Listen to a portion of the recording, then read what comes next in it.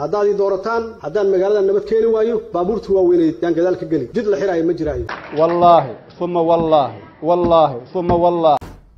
Daawadayaal ku soo dhawaada calansida media. Fadlan haddii aan ugu cusub tahay subscribe saara gombeylka furo daawo wararkii ugu dambeeyey loolankii ugu cuslaa abid ayaa waxa uu ka dhexeeya nabad iyo nolol iyo mucaaradka islamarkaasina xasan sheekh maxamuud iyo madaxweyne farmaajo ayaa waxaa ka dhexeeya loolanka dhuusamareeb ee maamulka galmudug ee gudoomiyaha cusub ee baarlamaankaasi yeela doonto islamarkaasina waxaa la leeyahay haddii nabad iyo nolol ay ku guulaysto gudoomiyaha baarlamaanka ee galmudug waxaa halkaasi ay ku guulaysatay madaxweynaha soo socda. Laakiin haddii xasan sheekh uu ku guulaysto waxaa la leeyahay nabad iyo nolol way u dhammaatay oo ay ka soo guuraysaa galmudug islamarkaasina doorashada soo socota ee dalka ka dhacaysa kow iyo labaatanka bilowgeeda halkaasi ayay boorsooyinkooda ku aruursanayaan madaxweyne farmaajo iyo ra'iisul wasaare khayre. Si kastaba ahaatee laba musharax oo aad loo ha loo hadal haya ayaa isgarab taagan. Musharax waxa uu wataa xasan sheekh maxamuud xisbigiisa musharaxna waxa wato nabad iyo nolol. Tartan adag ayaa la filayaa inuu maalmo kadib uu u dhexeeyo labada xildhibaan oo u sharaxan kursiga gudoomiyaha baarlamaanka galmudug kuwaas oo kala kuwaas oo kuwaas oo kala matalaya siyaasiyiinta mucaaradka iyo dowladda federaalk soomaaliya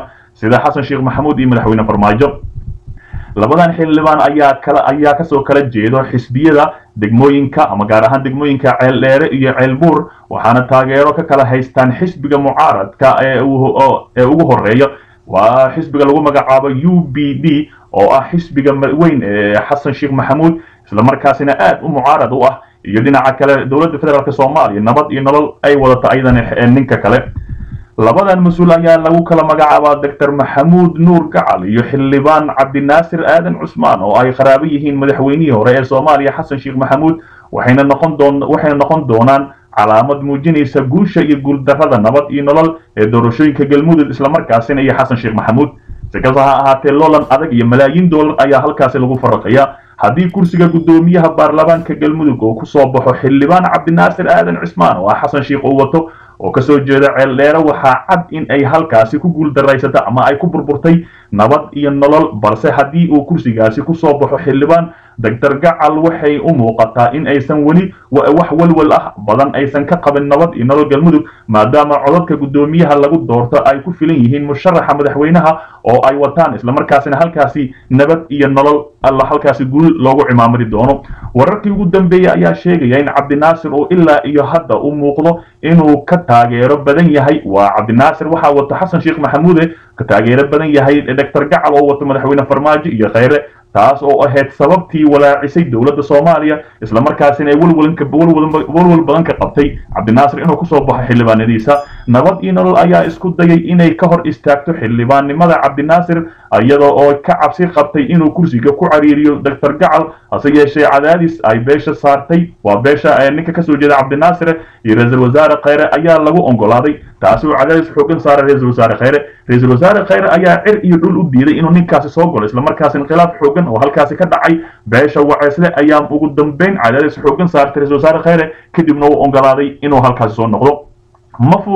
waxaa la yidhi ma fududo in rabitaanka dhan kasta uu si sahlan ku yimaado hase yeeshee waxaa la sugayaa natiijada ugu dambeysa ee doorashooyinka galmudug oo ay ka harsan tahay maalmo kooban sida ay maanta shaaciyeen guddiga doorashooyinka ee baarlamaanka maamulkaasi waxaa inta badan laakiin dadka siyaasadda falaqeeya ee galmudug xirfadda dheer u leh waxa ay leeyihiin nabad iyo nolol halkaasi waa ay ku jabaysaa maadaama cabdinaasir si weyn loogu taageero ama xildhibaanada cusub ay aad u taageersan yihiin. Cabdinaasir hadda uu ku soo baxo xasan sheekh maxamuud waa uu guulaysayey hadhowna doorashada doorashada soo socota ee dalka wax wax cabsiya kama qabo taas oo sababaysa xildhibaanada galmudug ka soo bixi doona ee qaranka inuu halkaas ku soo guulaysto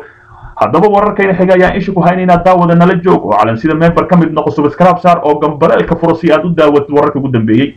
senator yuusuf gelle oo ka digay in madaxweyne mucaarad ah loo doorto galmudug islamarkaasina sheegay haddii madaxweyne mucaarad ah oo ka soo baxa galmudug ay noqon doonto khilaafka inuu sii daba dheeraado islamarkaasina wax shaqo ah. Aysan la lahaan doonin farmaajo iyo khayre taas oo micnaheeda oo ku sheegay hala doorto nin madaxweyne farmaajo iyo khayr la shaqay karo. Senator yuusuf gelle ugaas oo ka tirsan golaha aqalka sare ee baarlamaanka federaalk soomaaliya ayaa ka hadlay xaaladda guud ee galmudug iyo dadaalada ka socda dhuusamareeb lagu jiro dhismaha maamul u samaynta gobolkaasi islamarkaasina lagu yaqleelo halkaasi maamulkii labaad ee yeelata galmudug oo loo wada dhan yahay. Senator gelle ugaas ayaa sheegay in galmudug ay ka soo dahday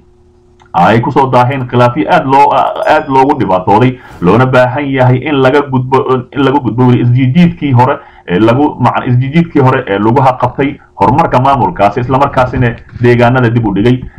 Sidoo kale wuxuu tilmaamay in xildhibaano ahaan ay waayeen fursad ay ugu shaqeeyaan deegaanada dowlad goboleedka galmudug isagoo sababta ku sheegay khilaafka madaxda maamulkaasi kala dhexeeya kuwa dowladda federaalk soomaaliya. Senator yuusuf geelle ugaas oo hadalkiisa sii wata ayaa ka dalbaday xildhibaanada cusub ee galmudug inay u istaagaan badbaadinta galmudug. Wuxuuna ugu digay inay doortaan madaxweyne mucaarad ah isagoo carabka ku dhuftay inay muhiim tahay in la helo madax lala shaqayn karo ama lala shaqayn karta ama la shaqayn karta dowladda dhexe islamarkaasina farmaajo ra'iisul wasaare kheyre islamarkaana samata bixin karta galmudug ayaa warbixinta lagu yidhi ugu dambayntii wuxuu hoosta ka xariiqay in galmudug ay hadda joogto meel wanaagsan loona baahan yahay in ay horey u sii socoto islamarkaasina halkaasi laga soo yagleelo madaxweyne mustaqbal ah islamarkaasina maamulkaasi wax badan u qabto. Hadalkani ayaa ku soo aadaya iyadoo haatan meel xasaasi ah uu marayo dhismaha galmudug islamarkaana uu soo shaac baxay khilaafka u dhexeeya dowladda iyo madaxweyne axmed ducaale geele xaaf oo oo olole ka wada magaala kaalkacyo islamarkaasina doonayo in halkaasi uu ka soo taago maamul cusub oo halkaasi ka soo yagleelo. Si kastaba ha ahaatee khilaafkaasi ayaa waxaa u muuqanaya kii jubbaland oo ka dhacay halkaasina lagu doortay saddex madaxweyne in ka badan. Taasi oo hadda la rajaynayo markii dhuusmare madaxweyne uu ka soo baxo dowladda ay aqoonsan tahay in axmed madoobena halka ninkan lagu magacaabo xaafne oo halkaasi ka soo sameeya madaxweyne kale. Si kastaba ha ahaatee dowladda haddii aan aqoonsanayn wax soconaa ma lahan oo waxaa laga yaabaa sidii maamulkii jubbaland inay cunaqabateen xooggan ay saarto madaxweyne xaaf. Dhinaca kale shir baydhabo uga furmay laba maamul goboleed iyo qodobada looga hadlay ayaa ka soo baxay magaalada baydhabo ee xarunta maamulka bay ayaa waxaa lagu wadaa inuu ka furmo maanta shir u dhexeeya madax kala socoto maamulada koonfur galbeed iyo hirshabelle labada madaxweyne ayaa waxaa la leeyahay shirkooda arrimo muhiima ku soo qaada ay ku soo qaadan doonaan. Shirkan oo laba cisho socon doona ayaa qabsoomidiisa waxaa labada maamul labada maamul labada maamul go'aamiyeen. Dhowaan markii madaxweynaha hirshabelle uu tegay baydhabo isagoo halkaasi uga qayb galay munaasabadii lagu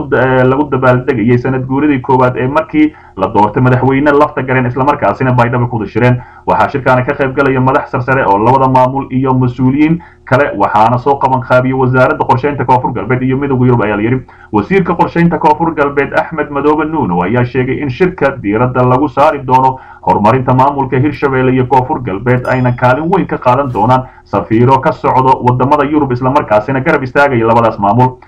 Waxa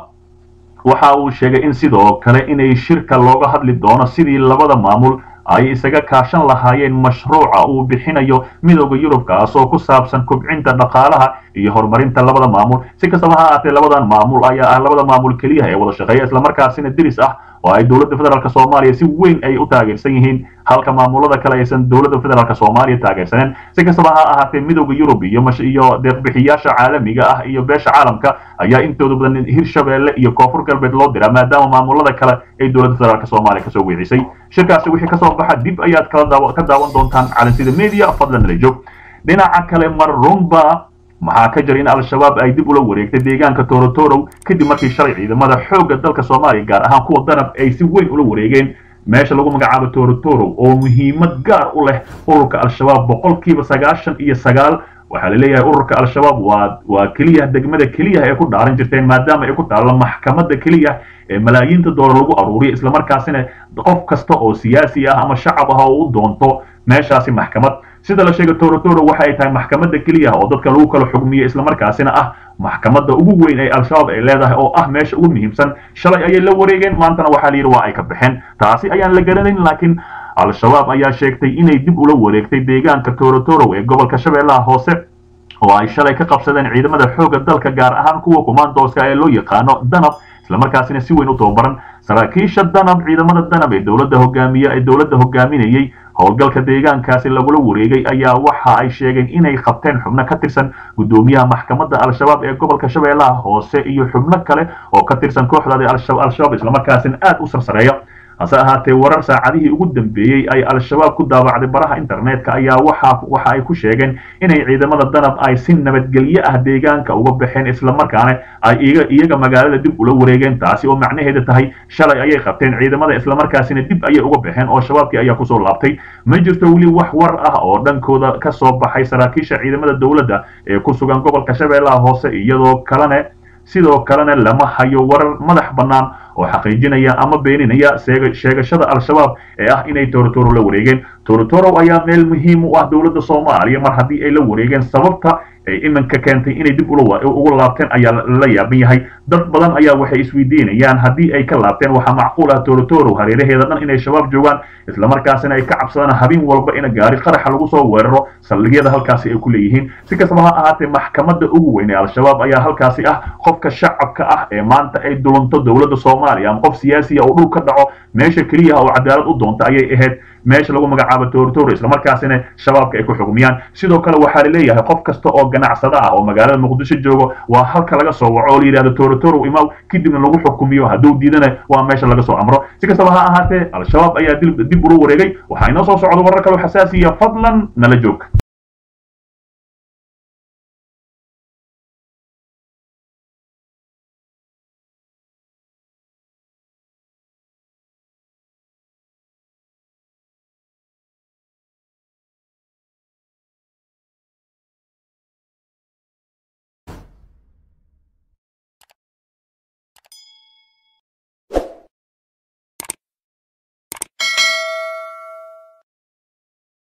هذا دورتان هذا المجال أن نبت كيني وايو بابورت هو وين يتيان يعني كذلك جد الحراي مجراي والله ثم والله والله ثم والله.